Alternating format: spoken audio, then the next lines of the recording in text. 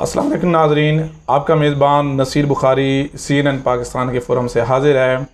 ناظرین، پاکستان بننے کے بعد خواتین کا ایک بڑا کلیدی کردار رہا ہے۔ جیسا کہ آپ جانتے ہیں کہ قید اعظم کی بہن محترمہ فاطمہ جناح، انہوں نے بڑا پاکستان بنانے میں اور ساتھ رہنے میں بڑا کلیدی کردار ادا کیا۔ اگر اس خواتین کی حوالے سے بات کی جائے تو اس میں کوئی شک نہیں ہے کہ ایک بہت بڑا نام آتا ہے ذوالفقار علی بھٹو صاحب کا، ان کی وائف بیگم نصرت بھٹو، انہوں نے بھی شانہ بشانہ اس ملک کے لیے اور پاکستان کی جمہوریت کے لیے بڑا کلیدی کردار ادا کیا۔ پھر آگے آگے جیسے چلتے ہیں تو بے نظیر بھٹو صاحبہ، بیگم کلثوم نواز صاحبہ اور ابھی مریم صاحبہ بھی اسی طرح کردار ادا کر رہی ہیں۔ آج ہم ایک ایسی آپ کو خاتون سے ملاتے ہیں جنہوں نے بڑی مشکل کے ساتھ، بڑی محنت کے ساتھ، بڑی کاوش کے ساتھ اس معاشرے کے سامنے اپنا نام پیدا کیا۔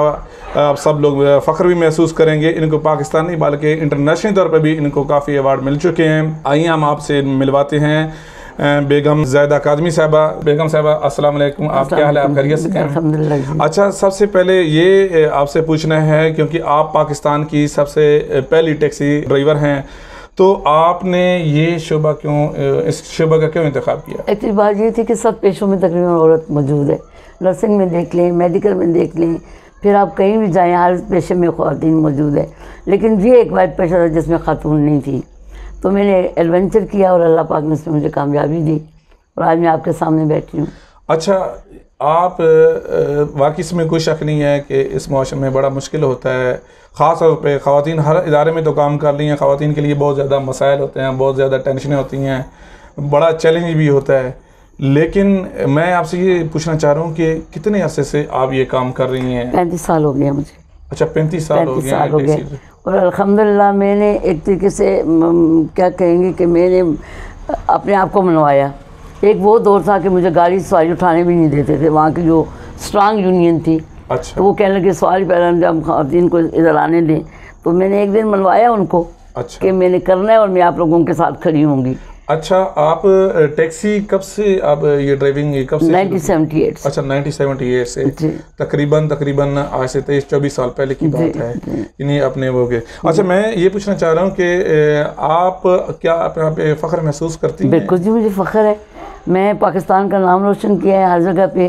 اب جو الجزیرہ چینل نے ایک ڈاکومنٹری چھاپی ہے تو چونتیس ملکوں کی وہاں پہ ڈاکومنٹری آئی ہیں یو ایس اے میں۔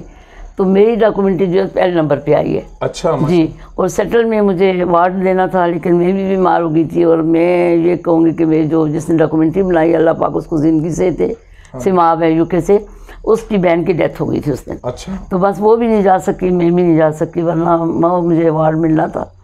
تو اچھا کبھی اتنا عرصہ ہو گیا آپ کو ٹیکسی چلاتے ہوئے تو کبھی خوف محسوس نہیں ہوا؟ کیونکہ اس کی وجہ میں اس لیے یہ کوشچن آپ سے پوچھا ہے۔ کیونکہ یہ جو شعبہ ہے نا خاص طور پہ باقی تو ہر شعبے میں خواتین اپنا وہ کردار ادا کر رہی ہیں لیکن یہ جو آپ نے شعبہ چنا ہے یہ بہت مشکل ہے اور بڑا میں کہتا ہوں کہ اس معاشرہ جس طرح ہمارا معاشرہ ہے اس چیز کی ذرا وہ اجازت بھی نہیں دیتا۔ بالکل۔ تو اس لیے میں نے آپ سے پوچھا کیونکہ میرا جو تعلق ہے کے پی کے سے ہے۔ اچھا کے پی کے سے. کے پی کے سے. ہے اور کے پی کے کی خواتین باہر نکلنا بھی جرم ہے آپ کو پتہ ہے ہمارے علاقے میں. عورتوں کو نکلنا بھی مشکل ہے. لیکن میرے آگے میرے بچوں کا مستقبل تھا کہ میں نے اپنے بچوں کو اچھا شہری بنانا ہے نہ کہ وہ ڈاکور چور بنانا ہے.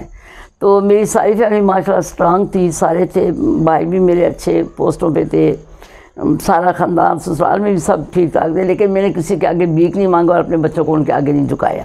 اور آج الحمدللہ میرے بچے میرا فخر ہیں میری بیٹیاں میرا فخر ہیں اپنے گھروں میں خوش ہیں سارے۔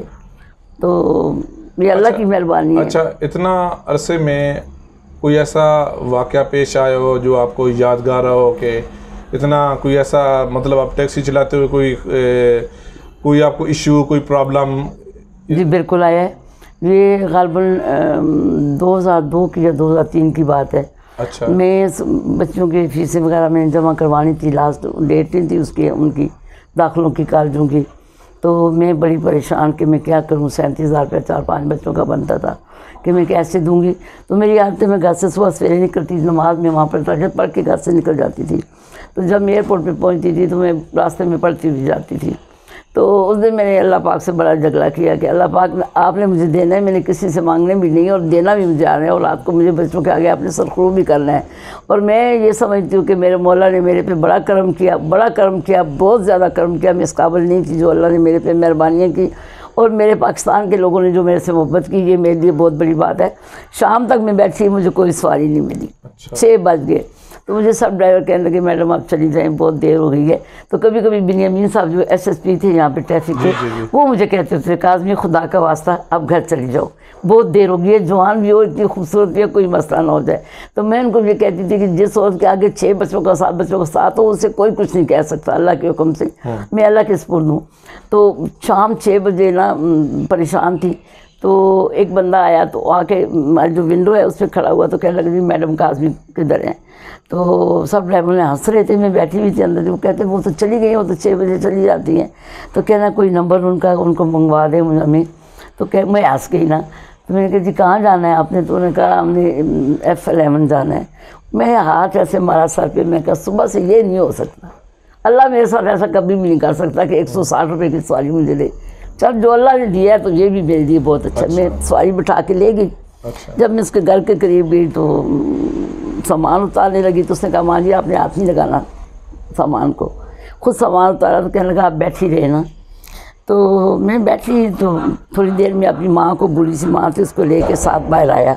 تو مجھے کہنے لگا کہ، مجھے کہنے لگا کہ آپ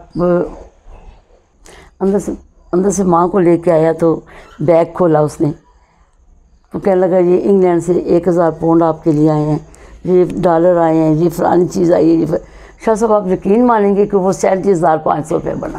اس وقت اس وقت مجھے یقین ہو گیا کہ میرا اللہ میرے ساتھ واہ اس دن مجھے یقین ہو گیا کہ میرا اللہ میرے ساتھ ہے۔ اور اللہ پاک نے رات کو میں اپنے بچوں کے پاس آئی تو بڑی خوش تھی۔ تو میری بڑی بیٹی مجھے کہتی ہے ماما صبح داخلہ دینا ہے۔ میں نے کہا اللہ میرے نے کر دیا بندوبست دیں گے ہم داخلہ۔ تو میں نے وہ داخلہ بیچا۔ یہ میں پھر بندہ کیوں نہ کہے کہ اللہ موجود ہے؟ اللہ۔ سنتا ہے۔ رات تک نہ تو میں رحمت اللہ ہے اللہ کی رحمت سے مایوس نہیں ہونا چاہیے۔ وہ ذات بڑی بے نیاز ہے۔ تو سنتی ہے اگر بندہ کوئی دل سے مانگے تو ضرور سنتا ہے۔ تو میں اسی پہ چل رہی ہوں۔ اب دیکھیں اس وقت میری تین کم ستر سال عمر ہے اور ابھی بھی میں کام کر رہی ہوں۔ ابھی بھی میں مولا پنجن پاک کا صدقے میں ابھی کام کر رہی ہوں۔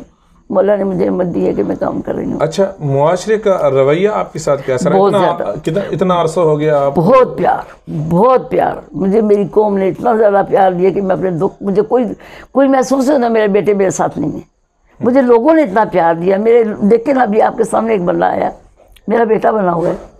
تو لوگوں نے پہلے مجھے جہاں پہ میڈم کاظمی کے نام سے کہتے تھے اب مجھے ماں جی کے نام سے لوگ آگے میرے جھکتے ہیں۔ تو یہ اللہ کا ہی دین ہے بے شک بے شک۔ اچھا بچے آپ کے جی، کتنے سات بچے۔ اور آ، گھر کو آپ کس طرح آپ ٹائم دیتی ہیں؟ آ، گھر کو بڑا مشکل ہوتا ہے جی بڑا مشکل ہوتا ہے۔ شروع میں تو خیر بیٹیاں تھیں وہ کرتی تھیں۔ میں چلی جاتی تھی وہ تیار کے خود چلی جاتی تھی دن کو آگے پکا لیتی تھی۔ اب زیادہ تھوڑا سا ہے کہ وہ چھوٹی بیٹی نائنتھ میں پڑھتی ہے۔ تو وہ بیچاری کرتی ہے اسکول سے آتی ہے جو کچھ پکاتی ہے میں کھا لیتی ہوں صبح تاجد کے لیے ہم ڈیڑھ بجے ماں بیٹیاں اٹھتی ہیں۔ دونوں میری بیٹیاں تاجد پڑھتی ہیں۔ پھر اس کے بعد کبھی سوئی نہیں ہے۔ اچھا۔ جی ہم پڑھتے رہتے قرآن پاک پڑھا سورہ یاسین مزمل سب کچھ پڑھتے رہتے پھر ساڑھے پانچ بجے وہ مجھے ناشتہ دیتی ہے نماز کے بعد۔ اچھا حکومتی لیول پہ کچھ بھی نہیں۔ کسی نے آپ کو داد رسیدی ہے کسی نے کچھ بلایا بھی نہیں ہو ہوا، مجھے بلایا۔ چونکہ پاکستان کی پہلی آپ ہیں اور اتنے عرصے سے آپ ہیں جی۔ ہونا تو یہ چاہیے نا کہ حکومت کی طرف سے آپ کو کچھ نہ کچھ۔ ایوارڈ ملنا ایوارڈ نہیں تو کم از کم اتنا ہونا چاہیے۔ میری مدد کرنی ہاں، مدد ہونی چاہیے کہ ایک آپ نے معاشرے کے آگے سر نہیں جھکایا بلکہ رزق کے حلال کمانے کو ترجیح دی آپ نے۔ بالکل۔ چار مارچ کو مجھے بلایا تھا صدر ہاؤس میں چار مارچ جی، دو ہزار انیس انیس میں۔ اچھا۔ مجھے بلایا تھا کشمارہ طارق صاحب آئے ہیں انہوں نے کہا تھا کہ آپ نے صدر ہاؤس آنا ہے۔ میں گئی علی صاحب کے پاس۔ تو وہاں پہ جب ہم سب لوگ بیٹھے ہوئے تھے تو ان کو چاہیے تھا کہ مجھے بلایا تھا تو مجھے ایوارڈ دیتے۔ میری محنت میری اسٹرگل پہ مجھے ایوارڈ دیتے لیکن انہوں نے بس اٹھا کے کھانا کھلا کے واپس بھیج دیا۔ تو مجھے بڑا دکھ ہوا کہ ایک گانے والی کو تو آپ ایوارڈ دے رہے ہیں ناچنے والی کو ایوارڈ دے رہے ہیں۔ ایک۔ محنت کا شہرت جس نے محنت کر کے ساری زندگی آپ کے سامنے محنت کی ہے۔ پاکستان کا نام روشن کیا ہے باہر کے ممالکوں میں میں پاکستان کا نام روشن کیا ہے۔ تو اس کو ایوارڈ نہیں دے رہے یہ کتنا بڑا بد نصیبی ہے اس ملک کی۔ ایوارڈ کم از کم اتنا تھا حوصلہ افزائی کی وجہ یہ ہے کہ آج کل آپ کو پتہ ہے حالات اس طرح کے ہیں بہت زیادہ۔ ہے مسئلہ زیادہ میں آپ کو۔ بتاتی ہوں بخاری صاحب پہلے میں آپ کو بتاؤں کہ ہمارے علاج یہ تھے کہ میں روزی اچھی سا کما کے میں اپنے کچھ نہ کچھ اپنی بیماری کے لیے بھی کر لیتی تھی۔ اب یقین مانیں کہ میری دعاؤں کے پیسے نہیں ہیں میرے پاس۔ سو روپے کلو پیاز ہے ٹماٹر ڈیڑھ سو روپے کلو ہے کون کیا کھائے؟ پہلے یہ ہوتی چٹنی کر کے بھی ہم کھا لیتے۔ اب پودنا جو دھنیا ملتا ہے وہ بھی کہتے ہیں جی آپ کو چالیس روپے کی گٹھی ملے گی لینا ہے تو لیں نہ لیں۔ تو نہیں کیا کریں کیا کیسے کیسے بس گزارا ہو رہا ہے؟ آپ کو کیا بتائیں کہ کس طرح گزاری؟ مرچیں ہم نہیں خریدتے اسی روپے پاؤ ہے کون خریدے؟ کیا کرے جس حالات میں اب میں وقت گزاری ہے یقین مانے شاہ صاحب میں اللہ کو میں ہم چائے بنا کے کھانا کھا لیتے ہیں ہیں تبدیلی اور کوئی تبدیلی یہ کیا تبدیلی؟ یہ تبدیلی آئی ہے۔ میاں صاحب کے دور میں حقیقت میں آپ کو بتاتی ہوں کہ میں نے اپنے بچوں کی شادیاں کی ہیں۔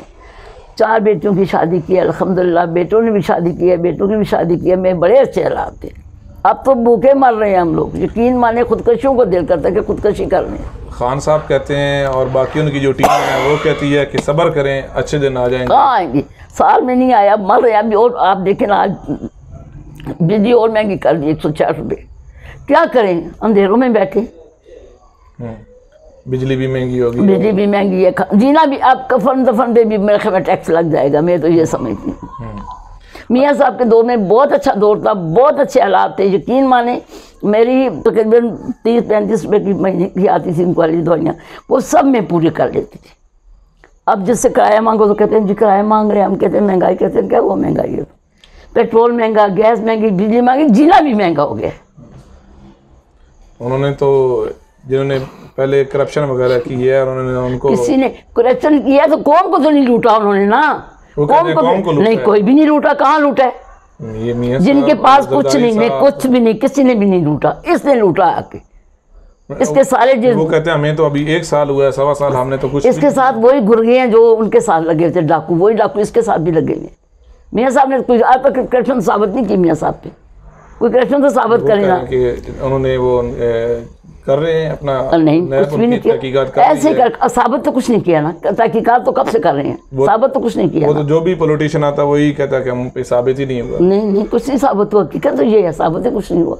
اچھا ہم یہ تو ہو گیا پاکستان کی سٹوری جی۔ مطلب پاکستان لیول پہ آپ کو چار مارچ دو ہزار انیس کو ان کو ایوان صدر میں مدعو کیا گیا تھا۔ کشمہ اللہ طارق صاحبہ نے بھی وہاں پہ فلور پہ کھڑے ہو کے ان کے حق میں تقریر کی تھی۔ تو اس سے بھی کوئی فرق نہیں پڑا۔ یہ چار مارچ دو ہزار انیس اس سال کی بات میں کر رہا ہوں۔ تو اس وہاں پہ بھی حالانکہ ان کو چاہیے تو یہ تھا ایوارڈ نہ دیتے کم از کم ان کی کچھ نہ کچھ مالی مدد کر دینا چاہیے تھا کیونکہ بہت بڑی مطلب ایک بڑا نام اور پاکستان کی واحد خاتون ہے جن سے دیکھ کر باقی خواتین کو حوصلہ ملتا ہے حوصلہ مل رہا ہے۔ اب یقین مانی میں بیمار ہوئی تھی دو ہزار بیگم صاحبہ زندہ تھی اس وقت۔ پاکستان میں تھی تو میں بیمار ہو گئی تھی بہت زیادہ مجھے گردوں کا مسئلہ ہو گیا تھا مجھے گردے میں ڈائلسس کے لیے جا رہی تھی میں۔ تو بیگم صاحب کو پتہ لگا تو بیگم صاحب نے مجھے اس کو بھیجا بیت المال والے کو کہ جا کے بیگم کلثوم نواز نے۔ اچھا کا اللہ ان کو جنت دے کر کر رب العالمین۔ بہت اچھی نائس عورت تھی۔ میرا جیسے اس نے خبر ٹی وی میں پڑھی یا رائی میں تو انہوں نے فٹافٹ فون کیا اس کو بیت المال والے کو کہ جا کے ان کو دو نا تو وہ لے کے آیا پیسے میرے پاس مجھے کہتا ہے کہ آپ پیسے دیں گے میں نے اس سے سوال کیا میں کہا زکوٰۃ کے پیسے ہیں؟ کہتے ہیں ہاں۔ میں نے کہا میں صحیح ہوں میرے پہ زکوٰۃ بھی نہیں لگتی اور صدقہ بھی نہیں لگتا ہاں بیگم صاحب نے اپنے پاس سے دینا ہے تو میں کر دینے کو تیار ہوں۔ تو پھر انہوں نے کہا کہ ہم آپ کے لیے کچھ کریں گے لیکن بس بد نصیبی میری بد نصیبی کہ بیگم صاحب بیمار ہو گئی۔ تو ان تک میری کوئی بات ہی نہیں پہنچ سکتی۔ ورنہ میں کہتی ہوں کہ اس پوری نسل میں میری گاڑی کا مسئلہ تھا۔